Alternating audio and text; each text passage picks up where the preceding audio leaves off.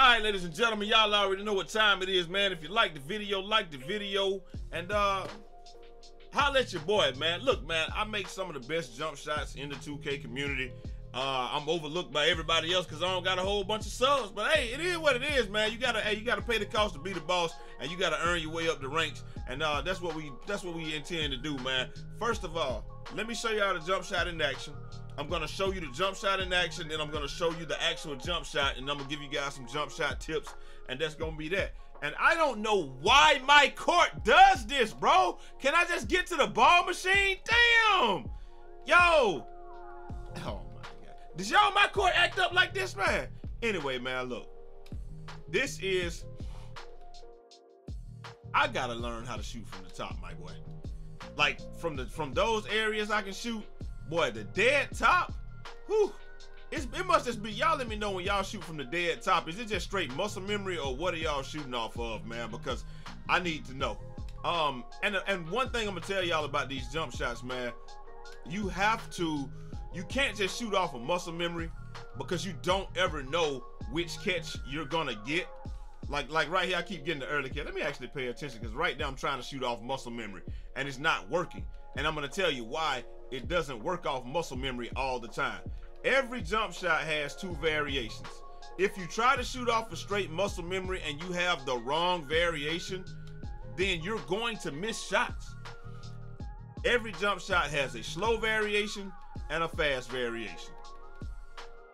All right, so the slow variation happens when you when you're already holding the button or you know you're waiting for the ball to hit your hands and stuff like that. When you're holding the button when the ball gets there, that's the slow variation. You can get the fast variation if you wait like I just did right there. You wait until he do it, does it, and then when, when he's gonna put the ball away. You wait until he does that and then you shoot the ball, right? and then uh, that'll give you the fast variation. That's why I'm kind of late on these right here. So that's a little tip slash trick for you guys so you can practice with the, the two variations in the shot. If I actually start paying attention, I'm green the rest of these, man. But um, that's really what you need to know. Every jump shot got at least two variations. Learn how to practice the two variations. Learn how to spot them immediately, and then that way you can prepare yourself and you can uh you'll hit a lot more jumpers, man. Like like you you gonna hit a lot more. And um, I need to be paying attention because on the jump shot video, if I'm not hitting shots, then I'm gonna look pretty damn bad. I really don't care, man. I'm gonna show, I'm gonna show y'all why I don't care. Let me show y'all why I don't care about no jump shot video because I done played this game enough. My credentials are here. You understand what I'm trying to tell you? Look at this. This is my park right here. 80 80% win percentage, 60% from three. If you're hitting two out of three, I don't think anybody's gonna get mad. I dare y'all to make a video and shoot this damn ball and green all of them while you're doing it. But hey, it is what it is. Like I said. Oh, I'm supposed to show y'all the jump shot. Let me show y'all the jump shot real quick. Sorry about that, man. This jump shot right here is a new jump shot, man. It's supposed to be the fastest one out there, 38, baby. Let Show y'all what it is. Obviously, you know it's, it's jump shot 38. Jump shot 38 for some people ain't hitting like it used to be. This is what you can do to it to make it hit for you right here. Jump shot 38, 90% Paul George, 10% Rudy Gay. That's all you need. And you too can shoot like the 38 baby, Kodak Black. You know what I'm talking about? And uh, I don't know if I can green from here. I took off, I've been trying something. Uh, I turned my range extender down and um and, and I turned up hot zone hunter to gold. but I don't shoot from there, so that's not gonna be a hot zone. Obviously, these areas will be hot zones because these are the spots that I shoot from the most. I shoot from the left, the right, this hash right here. Uh, very self, maybe five percent of my shots come from this hash. As you can see, it's not a, it is a hot, it's a hot zone because of the nature of how corner specialist works. Corner specialist gives you the hot zone all the way up to the hash, so that's why it's a hot zone but it's not a hot zone because I shoot from there. So another little tidbit that y'all can learn. But the more you practice and the more you see, okay, I can do this and uh, practice some stuff that you really don't don't practice a lot. The more you practice, the more you can see how you can just hit these shots. But the more you'll learn how to recognize whether they're gonna give you the fast release, the fast one. You you can be able to tell immediately, damn, it's the fast release. I better prepare myself. But right there, that's the slow release, so I have to slow myself down. It's just, it's real easy. But if you don't know that there are two releases to every shot or two speeds to every shot, you're not going, you won't ever get it. You'll just think that you're missing. And because you're already gonna just shoot, you're only gonna shoot about 60% maximum anyway from three. And I, like I said, this is I don't shoot from here because you're only gonna shoot about 60% max from three. If you don't learn how to recognize uh, these this right here, you're gonna miss half of the shots that you take anyway. So if you don't learn how to um to recognize it immediately, you're already gonna only hit 60% anyway. Then you're gonna miss half of those, half of the 60%, which equals out to be around about 40% or something like that. So you're gonna you only gonna hit because uh, half of them gonna let's say half of them are gonna be fast, half of them are gonna be slow. So if you're hitting, let's say you're gonna hit 100% of the ones that you time right, and then the other half you're gonna time you're gonna time them incorrectly. So you know that math ends up working out to be about about 40%. You're gonna hit about 40%, 45, 50% of your shots. That's why a lot of people can't even get up to 60 because you know you're not you don't know about the two. Boy, I gotta freaking pay attention so I can hit these damn shots.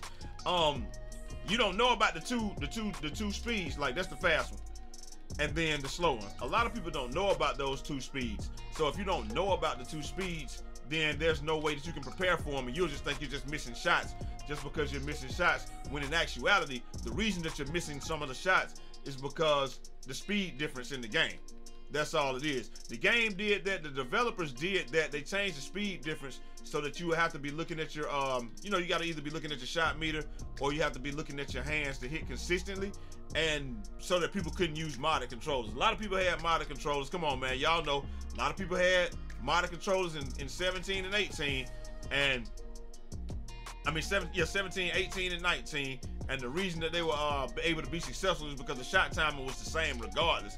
But now, so that's why you see sometimes people will do something like that and then they'll pull because that timing is the same. So if you got somebody on your team that always does this, like they never take the shot straight up, but they never miss, they always do something like last year was this right here. Uh, last, last year, uh, it used to be a well, it used to be a size up in 16. It was like they're like if you catch the ball, do a size up and then do it. A lot of people pump fake before they take the shot. A lot of people wait until it goes there before they take it because they know it. You know, it's if, if it's programmed. So, um, I'm not saying that everybody that does that that, that does it is cheating. Um, I'm not even saying that most of them are doing it, but that's why a lot of people will wait a second before they take the shot because that helps them get the timing right. And you know, if I catch the ball and I wait to here, I know what shot timing I'm gonna get. If I wait until it gets there, I, you know, it's, it's anybody's guess. But if you wait till it gets right there, you know what shot timing you're gonna get. If you catch it, wait until he moves a little bit and then shoot, you know what you're gonna get. If I do it like this and wait and then wait till he drops down there, that's anybody's guess what I'm gonna get. But if I do it like this, I get the same one every single time. So that's why a lot of people wait and uh, you know before they shoot the ball. Me, I don't wait before I shoot the ball. I catch the ball and I decide which release I'm getting on the fly. That's when you're gonna become, you know, kind of an elite shooter. And I'm not saying I'm an elite shooter. I'm just saying that this is a hard build to damn shoot on, and I hit over 60% of my shots. So from back here, I would probably wait because I, you know, that's a shot that I don't take often. So I would probably do this and wait because I want to time that one. And from the top, I also would want to time those. These are just little these are just little tidbits. I hate shooting from the top, bro. I can't do it. But I need to get in here. I need to get in here and practice because this is something that I'm just not good at because it is I'm not good at it because I just I just don't do it. I don't do it enough. Y'all know how it is, man. You're a center. You're a center in, in pro am. You're a center in the, in the uh in the park. It's either it's either right here or the corner. This is where they want you to be. And there ain't nothing wrong with that. If you win in games, you win in games. It is what it is. But I mean, we win a lot of damn games with me just sitting in the corner. But you know, I just don't shoot from the top enough, so I don't need to do that in any type of thing. So this is like I said, these are my shooting badges right here, man. Corner specialist on gold. I just put hot zone hunter on gold. Um, I just put hot, hot zone hunter on gold. I just put uh quick draw on gold, and um, I dropped range extender down because I don't take those long shots. Maybe I'll put it back up if I feel like I'm not as consistent. And then we just got Deadeye on uh, bronze. Bro, that's all you need. I take shots with people in my face all the time, and it's just like whatever. You just shoot over those and still in the game. My defensive badges are these. Uh, this is what I've been rocking lately. I ain't gonna lie to you, man. I feel like this actually helps. Don't ask me why everything is all over the place. They're not letting you chase down stuff a lot anyway anymore, and I get enough of them with with the on bronze. I wish I might I might take pogo stick down one and put this here, but silver pogo stick feels like it's it. If I do anything, I probably take off ball pest down and do it like that. But um, I'm I leave I'm leaving it right here for the time being because this feel like I've had a lot of centers that just try to back me down, man. And um, it this this definitely helps. On silver, it kills, but on on bronze, it's enough because it pops enough, and um, it helps me it helps me not get bagged down. And that's all I got, really, man, for y'all. I got, um, you know, obviously we're doing Puma Mania, so you know we're doing Double Triangle Mania. So I had on the um the catch, uh, Lob City finisher. That's what I had on there. But like I said, though, man, if you know those two things about every shot, learn those two releases, learn those two speeds.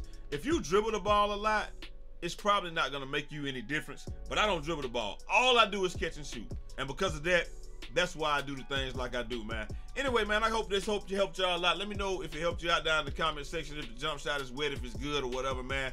And I'm gonna holler at y'all next time. Till next time. It's your boy Jai Eazy, aka Fresh from the Barbershop, BK the People's Champ. Let me hit one more of them things, man. Godspeed! Holla!